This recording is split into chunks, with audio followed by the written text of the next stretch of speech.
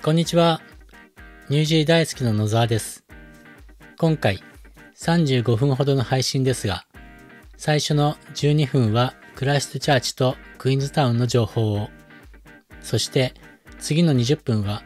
ニュースレターフロムジャパンでのりかほの2人が2人ごとをお届けします。まずはクライストチャーチとクイーンズタウンの情報ということで、これは YouTube で警戒レベルが下がった南島ってどんな感じなのか教えてほしいというコメントがありましたので、それにお答えする形です。南島のクライストチャーチでザ・ジョージホテルを運営されている川村さんと、同じく南島のクイーンズタウンにもショップがある、いつもコメントをいただいている OK ギフトショップのタカさんのお二人にインタビューをさせてもらいました。インタビューというより、単なる雑談ですが、お聞きください。今回は Zoom で録音させてもらったので、いつもより声がこもった感じになっています。それに加えて普段にも増して僕がもごもご喋っているので聞きづらいかもしれません。それでは、ザ・ジョージホテルの川村さんと OK ギフトショップのタカさんとのお話をお聞きください。どうも今日二人ありがとうございます。お忙しいところ。ありがとうございますありがとうございます。どうですかクライストチャーチ？いや、もうあのー今週の水曜日にうんレベル2になって、まあ、あの、レストランもカフェも開いてますし、まあ、あの、公共施設、図書館とか美術館とかももう開いてるので、で学校も始まって、かなり通常の生活に戻ってきてる。あ、もう普通だね、そしたらね。はい学校が始まってっていうのは、今まで学校はオンラインでやってたんだよね。そうですね。えっと、レベル3ま、レベル4の時は、まあ、オークランドと一緒で完全ロックダウンで、多分、各学校でのオンラインスクールで、うん。で、レベル3になった時に、えっ、と、エッセンシャルワーカーのお子さんたちだけは学校に行けるという感じだったんんですけど、結局、その預けるのも学校側も大変なので、まあ、うちの子供たちのクラスでも、クラス30人とかいて1人とかが通って、うん実際通ってたっていう感じで、で、えっ、と、一応そのアナウンスがあって、ロックダウンがレベル3から2になったのは、えっ、と、水曜日からなんですけど、一応その発表の時に48時間後から学校をオープンしてくださいっていうことで、えっ、と、昨日の木曜日から正式に全部の学校がオープンした。もう学校もオープンして、はいえー、食事も行けて、あ、食事行きました、食事まだ行きました。あ行きました？行きました。はい。どんな感じですか？マスクするの？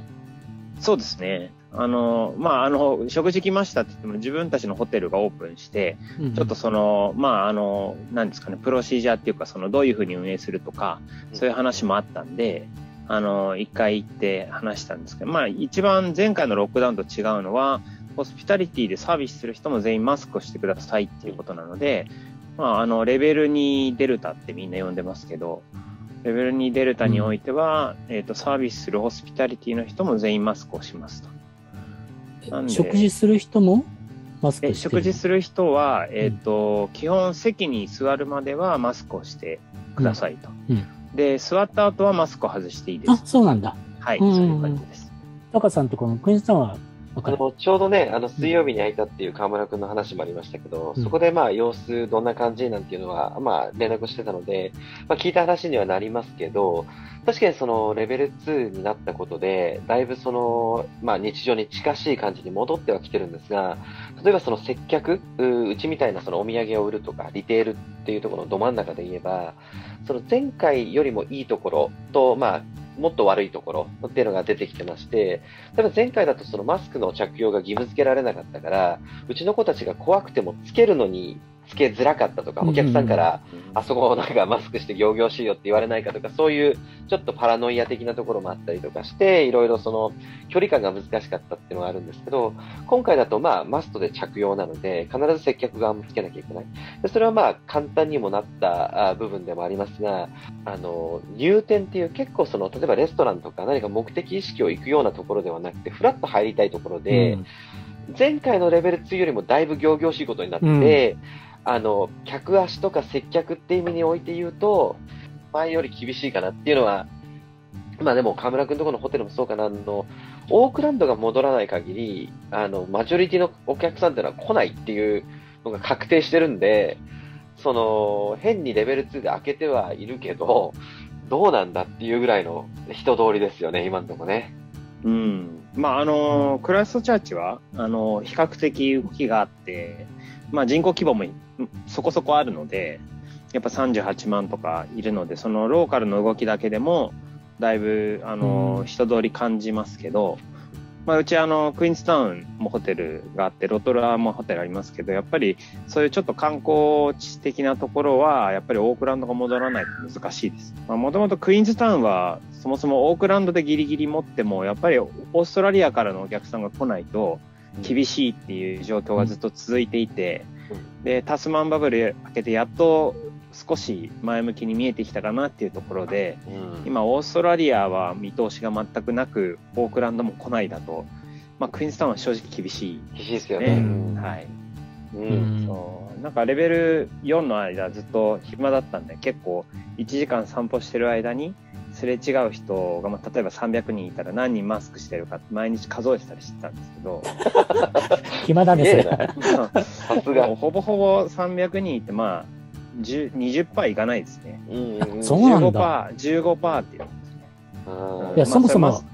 300人もすれ違うの ?1 時間に、1時間散歩してたら、大体300人ぐらいすれ違います。うんえー、まあ、あの、クライストチャーチの、まあ、場所にもよりますけど、公園なのか、街中なのかとか。そんなにいるんだ。そんな出歩いてんだ。だってテ、テリーさんあれですよ。あの、人見知りだから人のいないところ歩くから。そうそうそう。すれ違いなんですよ、きっと。午前5時とか。そろそろ。それはある。午前5時はいない。いないいないいない。いないですよ。でも2割、2割3割ってはちょっと想像より少ないね。そうですよね。うん。抵抗感がやっぱ強いんじゃないですか、まだ、いまだに。まあ、そうなんだか普段それね、習慣もないからね、きっとね。例えば、もう、このオークランドがレベル下がったら、オークランドに行こうとか、そういう雰囲気なんですかね、南島の人たちって。まあ、あの、旅行したいっていう声は多い、キーですけど、オークランドに行くっていうのはちょっと、あの、抵抗がある方多いです。うん、感染源だからね。オークランドは怖いからね。そうですね、感染源なのと、今回も、結局オークランドにそのロックダウンの直前に行ってた方って自主的に2週間やっぱり誰にも会えないとかああなるほどねで、それが、まあ、いつ起こるかわからないじゃないですか。うん。だから結局そういう、まあ、行ってる時に、まあ、急遽帰んなきゃいけない方も今回結構多かったですし、だからそういう予定が組みづらいっていうのはありますよね。まあね、特に国内旅行だったら、まだ、その、なんとか車でとか、移動手段も確保しやすかったりとか、知り合いも多いし、あの、それ、全く、まあ、全くというか、もうその規模感で言うと、タスマンバブルの時、ゴールドコースト行ってる時にそのロックダウンでチケットを取り直せなかったら、オースで2週間スタックかとか、あくまでスタックかとかっていうのがあったんで、結構やっぱり仕事以外とかね、行かないっていう人たちもいたから、やっぱりなかなかそのね、あのー、飛行機が飛ぶとか国境が開いたっていうレベルでは、すぐには元に戻らないんだろうなっていうのはね、ちょっと感じるところでありますよね、残念ながら。そうは言っても、タカさんなんかはね、あの、南島に行かないと仕事にならないでしょ。そうですね、まあ、南島にね、うち、あの、まあ、ちゃんとしたっていうと、あれですけど、まあ、南島、南島でちゃんとオペレーションしてくれてるんで、あのー、それは大丈夫ですけど、うちはもう、その、やっぱり日本からのお客様がね、4割、5割とか、そういうレベルで日本人の観光旅行の方っていうのを、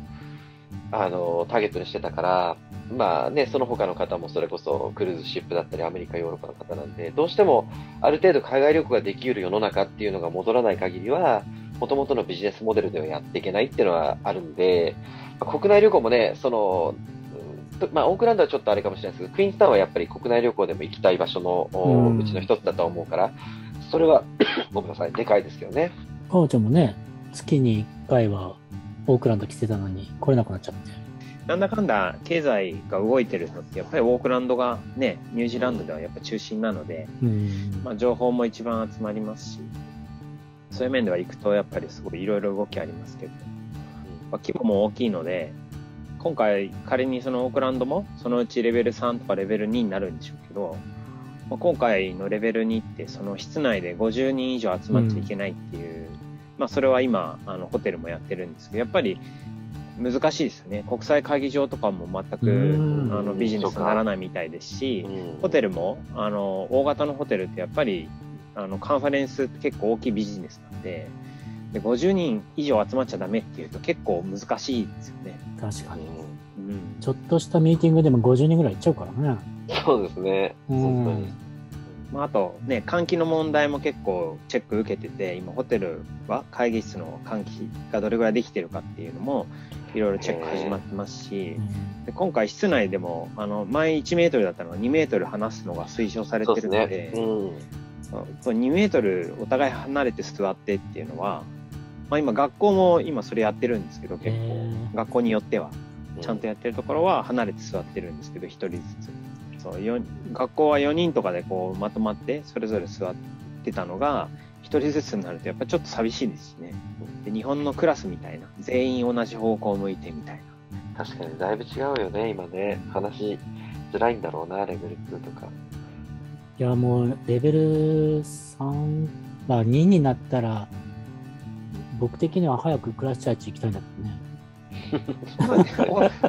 レベル2になってオークランドの方が他の町に行くようになるのはかなり大きいですよビジネス。確かに。どういう形にしろ。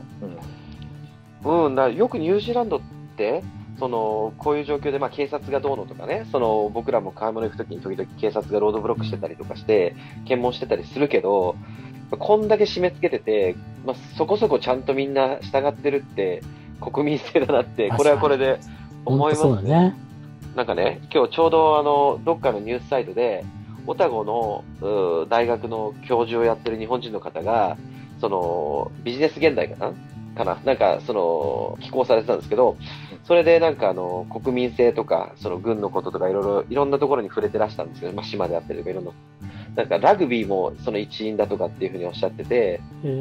興味深いなと思ったのは、結局、まあ、日本ほどじゃないにしろ、 All for one, one for all みたいな、ああいうそのみんなのためにの部分だったりとか、まあ、イギリス系のスポーツって比較的レフリーにめちゃめちゃ従順なんですよ。あの、これ分けちゃうとめめちゃめちゃ怒られるかもしれないですけど、アメリカ系の結構審判に食ってかかってたりありだと思うんですね。まあごめんなさい、イギリスサッカーダメだな。サッカーめちゃめちゃ食ってます。そうですね。そうそうでもラグビーは多分あんなに大きくてめっちゃちっちゃい審判に向かっても怒鳴ったりとかほぼないので、あの、それはもうルールも決められて、それに対してそれを良しとしてて、レフェリーに文句言うっていうこと自体を良しとしてないっていう文化が形成されてるので、まあ、そういうのが根付いてたり、それをヒーローとして、その、崇めたり、プレイヤーをリスペクトしたりとかっていうのがあるっていうような切り口だったから、ああ、でも本当あるかもなと思いましたね。もともとそういうのを子供の頃から、その接してる国民性っていうのも結構、あの、まあ、日本に近しいのか、あの、あるのかなと思いましたね。来週以降どうなるのか。開けてほしいよね、さすがに。本当ですさすがに開け開けてほしい。うん。だから本当、本当レベル2になったら、僕的にはクラッシュチャーチ行って、前回も実はクラッシュチャーチ行くって言ってて、ね、コロナで多分あやめたんじゃなかったっけな、はいはいはい、悩んであげく、悩んであげく。悩んでた、悩んでましたね。そういけるけどどうしようみたいな感じでやめちゃって、ね、その飛行機も残ってるし、だからもうすぐでも行きたいなと思ってるんで、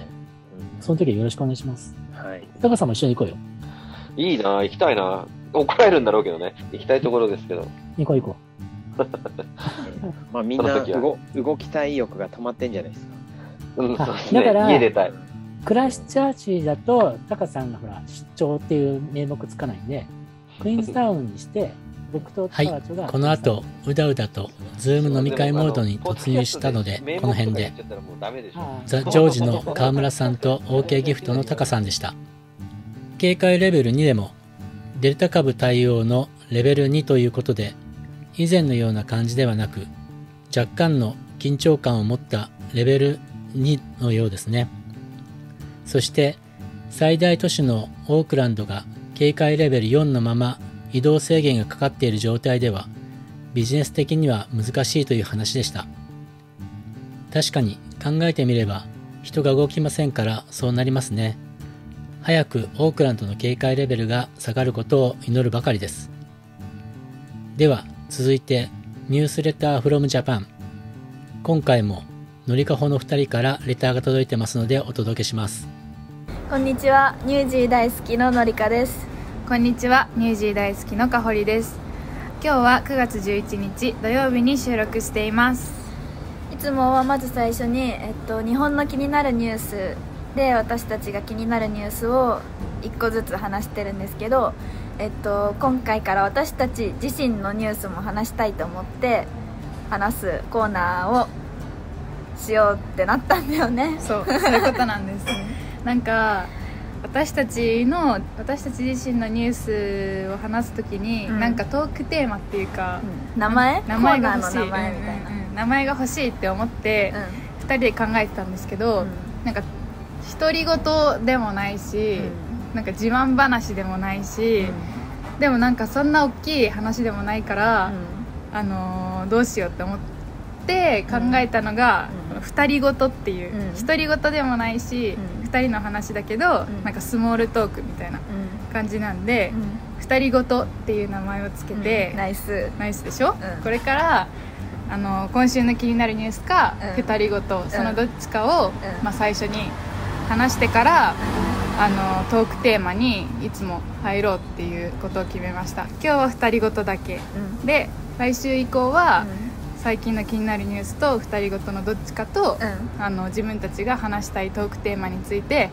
お送りしていこうかなって思ってます。はい。じゃあ2人ごとの第1回目は、はい、まず香りから。私の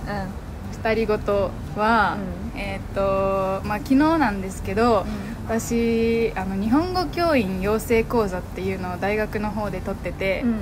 あの要は日本語の先生になるための、なんか資格を取る、あの実習みたいなのを1年生からずっと取ってて、昨日やっと教育実習が1週間ぐらいあったのが終わったっていうことを2人ごととして言おうかなって思ってる。そんなお大それたことではない。結構大変だったんだけど、あの日本に働きたいって思ってるベトナム人の学生に、日本語を教えるっていう。え一人？いや違う4人。全員ベトナム人なんだ。そうそうそう。全員ベトナム人と、うん、あのその日本語学校の先生が、まあ、監督として見てて、うんうん、それをもう完全に一人で先生になって、うん、私が教えるっていう、うんうん、そこの現地の学校に来てるわけじゃなくて、まあ、今コロナで来れないからその Zoom をつなげてあの日本語の教科書をあの共有しながら見るっていうことやってたんですけど、難しい本当に。なんかまず、日本語やってほしいことを、まず日本語がわからないから説明するんだけど英語ではもちろん説明しないのそれは。そうだね。だから優しい日本語で、まあ、例えばじゃあこれからこれやります、見てくださいとか、ここします、やってくださいとかもうそういう何、英語の先生が日本人に教えてるみたいな、うん、英語の授業みたいなそうそうそうそうそうそう。なんか言葉を言葉で説明できないから、うん、パワーポイントのスライドとか、うん、絵でいろいろ説明したりとか,、なんか視覚的にすごい教えなきゃいけないんだけど、それがすっごい大変で、なんか毎回の授業ちょっとスライド作っただけでも、何こんなもんかってぐらいすぐ終わっちゃうから、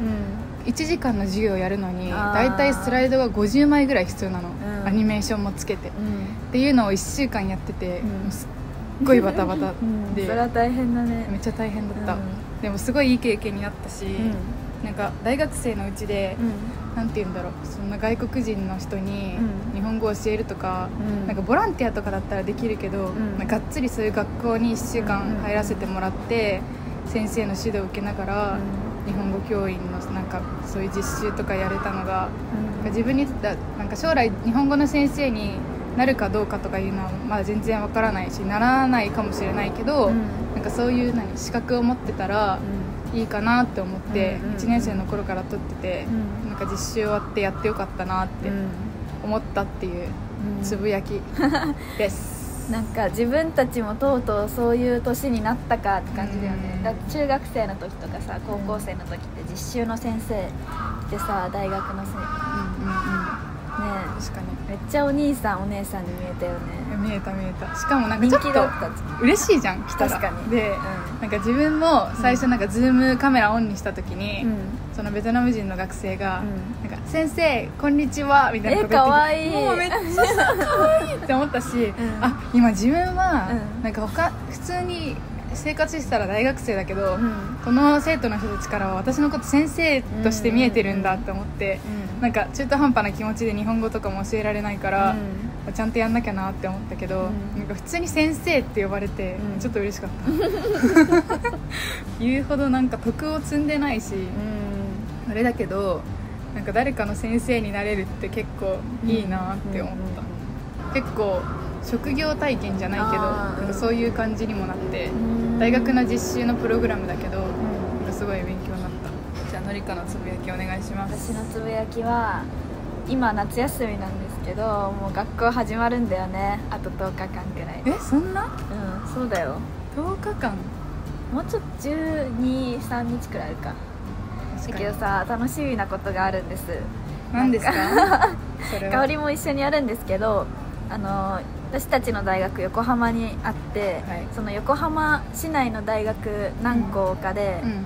なんか違う大学の授業も取れるんですよ、なんかそれを4校くらい、うん、取りましたね、うん、しかもまあまあ有名な大学そうだね。4校取って。だよね、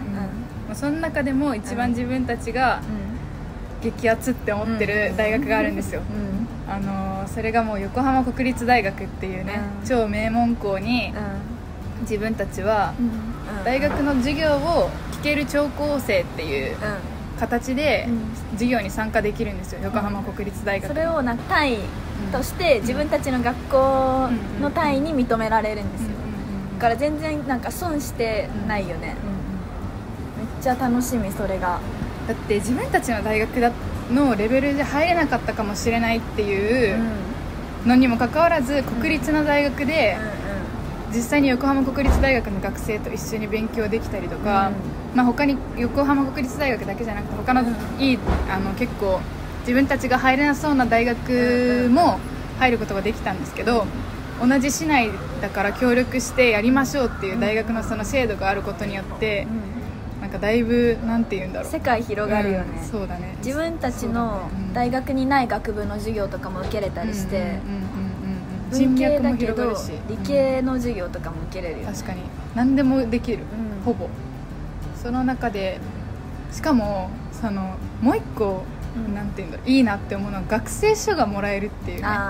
うん、そこの大学の全部。そうね。だから、まあ、自分たちの大学も、自分たちの大学はもちろん学生証持ってますけど、うん、他の、まあ、例えばその横浜国立大学とか違う大学の、いろんな大学もちゃんとそこの,、あの聴講生っていう形だけど、ちゃんと学生なんで、そこの学生として認められて出入りもできるから、学生証を渡しますっていうので激強じゃない、横浜国立大学で、いやバカ頭よく見せれるね。そうだよ。めちゃめちゃ頭いいし、あ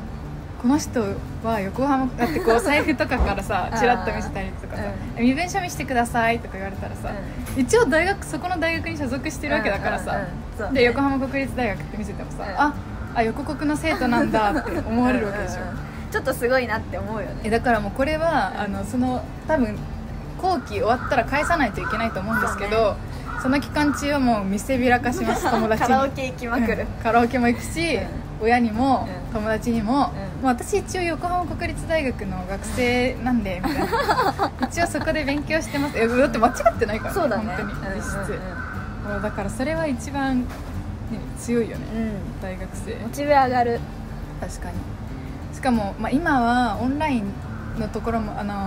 ー、あって、うん、キャンパスには行けないんですけど、うんうん、あの普通に行けるようになったら、うん、そこで勉強できたわけだし。そうだね。図書館使えるよね、いや大学祭があったら絶対に行きたい、うん、11月って大学祭のシーズン、ね、これからだよ、うん、大学祭とかも全然去年できなかったよねそうね。うちの大学は、うんうん、もう大学祭絶対楽しい。ね。大学祭の話する、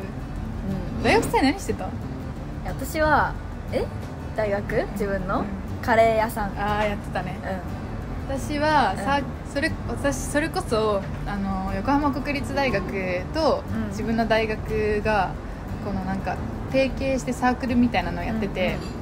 あの私バドミントンのサークル入ってたんですけど当時、うん、その時にお店でなんだっけ。あのスムージーか。スムージー売ってて、大学その時1年生だったんですけど、大学祭ってこんななんだってこんなに夢がある。すごい、あの大きいから、いろんなサークルがバーってあの何？広場にお店出して、で夜はせもちろん成人してる学生だけですけど、テント飲みっていうのがあって私はその時未成年だったんで、まあ、横でこう見ていいなと思いながら見てたんですけど、そこで、あのー、お酒みんな飲んで先輩たちが、夜テントの中で,、で明日も頑張ろうぜってやってるのが、えー、なんかいいなって思った。楽しそう。なんか高校の文化祭とはわけが違うんだなと、うんうん、レベルが、うん、でも高校も高校で楽しいけど大学も大学でまた違った楽しさで。大学の大学祭って本当になんかいろんな大学行ってみたいよね、うんうん、大学祭シーズン。そうよ。あるのかな？いやないでしょ。ないか。あったら行きたいでも、うん、11月でしょ、うん、でもさ日本のさ大学祭もそうだけど海外の大学祭とかもっとすごそうじゃない？確かに。でかそう。めっちゃ大きそうだよね、うん、規模が。大学祭行ってみたいな。行ってみたいね。ニュージーランドの大学とかすごそうじゃない、うんうんニュージーランドの大学あんまりまだ勉強不足で分かんないけどそうだ、ね、自然の中にこう雄大にあるからすごいでかそう、うん、大学ね。まあでもその後期からは、うん、自分の大学え自分の大学もしオンラインじゃなかったら、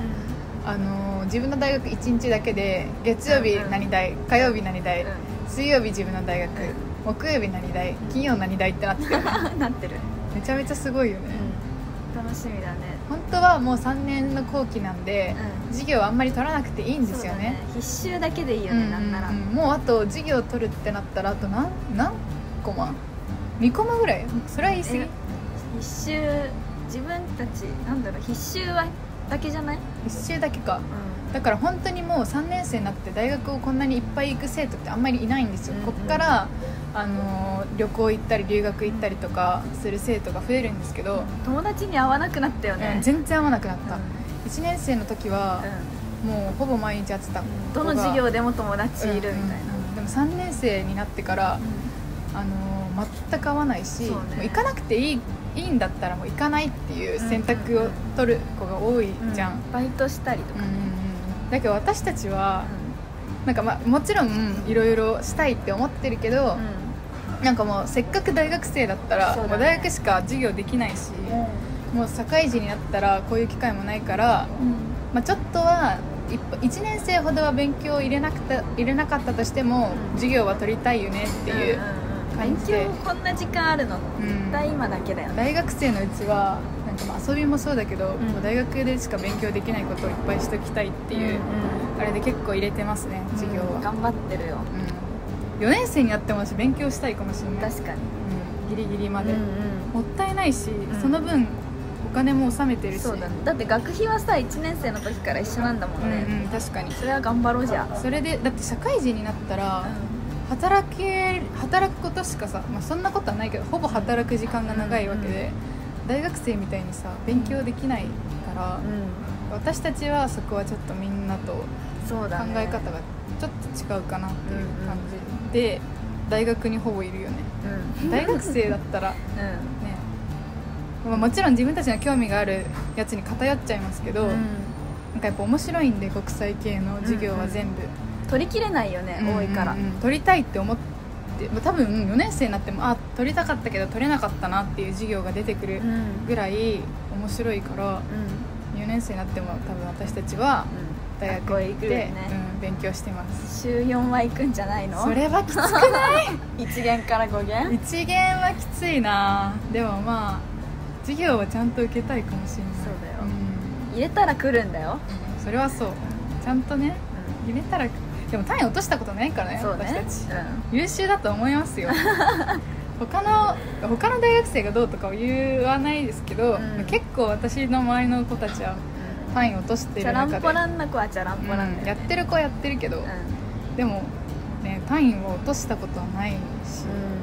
まあ、楽しいからな。そうだね。なんか苦だと思ったレポートが大変とかテストが本当に地獄って思ってるものいっぱいあったけど、まあそれだとしても内容は自分たちの興味があるものだし、国際系なんで学んでるとどんどん視野が広がって楽しいから、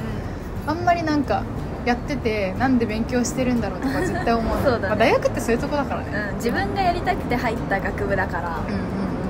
そうだと思う。正解だったよね。それはそう。でもその何？他の大学に行って学ぶ、うん、さ授業の中で、心理学取ったじゃん。そうね。それすっごい楽しみ私も楽しみ。心理学って自分の大学にないんですよあんまり、うんうん、で、まあ、1回取ったことあるんですけど、うん、なんか触りだけみたいな、うん、しかもなんか当たり障りのない感じの心理学だけど、うん、なんか他の大学は犯罪心理学とか,、なんか結構、ディープな心理学も学べるっていうので、後期は心理学結構頑張って勉強したいかも。楽しみその心理学で得た知識を、このニュージー大好きの ポッドキャストで皆さんにお伝えしていこうかなって、心理学。これ絶対面白いと思う、はい、みんな何学部だったんだろう？経済とか多そうじゃない？確かに。経済学部とか、あとなんだろうな。工学部とか。ああなんだろうあとは。でも国際も結構多い気がするな。うんえでも私の友達結構経済多いかもああ私あでもクラス私はもともと学校高校のクラス、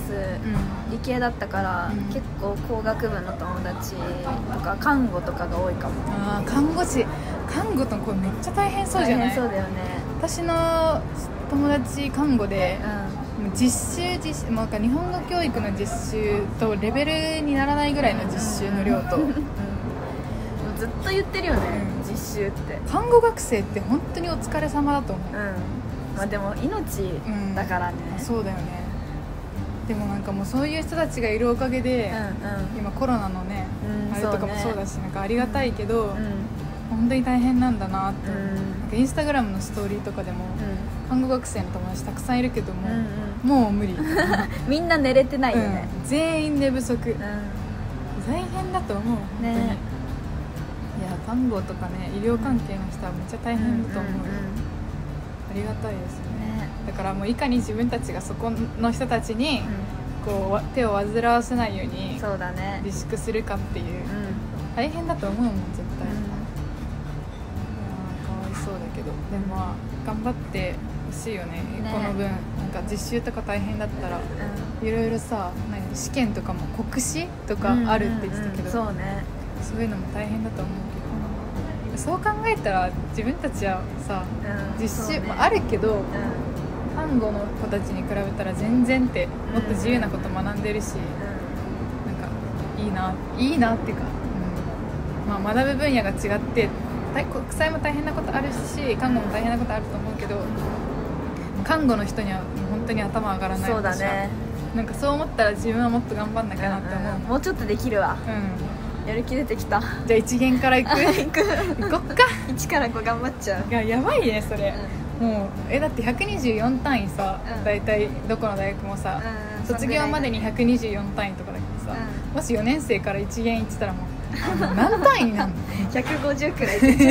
すごい。教務課の人にびっくりされる すごい頑張りましたね。かほりさんとのりかさん、うん、すごいじゃんってなる、まあ、でも全然いいけどね。勉強するの、楽しだって勉今しかできないから。そうだね。絶対大学で勉強するなんて、うん、後悔しないように。そうだね。頑張って後期も頑張りたいと思います。はいっていうこと感じでどうでしょう、はい、2人ごとは？こういう感じで、このねなんかトークテーマは本当は私たちいっぱい用意してたんですよいろんなトークテーマを、うんうん、だけどその2人ごとっていう新しいコーナーをこうちょっとなんて言うんだろう安定させたいというか皆さんに、うん、じゃあ今日は今週は2人ごとからとか、今週は気になるニュースからっていうなんか皆さんにこうなんて言うんだろう。なんかあすぐ分かってほしい、うん、これなんだなって思ってもらえるように、今日は2人ごとだけっていうのにしましたけど、うん、楽しんでもらえたかな？よかったら感想ください、はい、Twitter とか、うん、インスタの DM とか、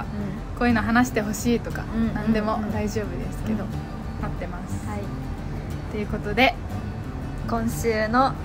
えっとニュースレターフロムジャパンもはい。のりかとかほりでした。ありがとうございました。ありがとうございました。はい今週も最後までお聴きいただきましてありがとうございました。これからもネタの量で尺を伸ばしたり縮めたりしながら1週間に1度しか配信していないのでできるだけ取れたてのものを配信したいと考えています。毎回尺が変わると聞きづらいということもあるかもしれませんがそこはどうかご了承ください。コメントは Twitter や Instagram、YouTube などで受け付けておりますのでお気軽にお寄せください。それでは今回もさゆりーさんが歌っているニュージー大好きの歌とともにまた来週野沢でした。留学生ビジネスマンだって全てのニュージーランド大好きを応援してますよ。ニュージーランドをもっと楽しく。时代之基，多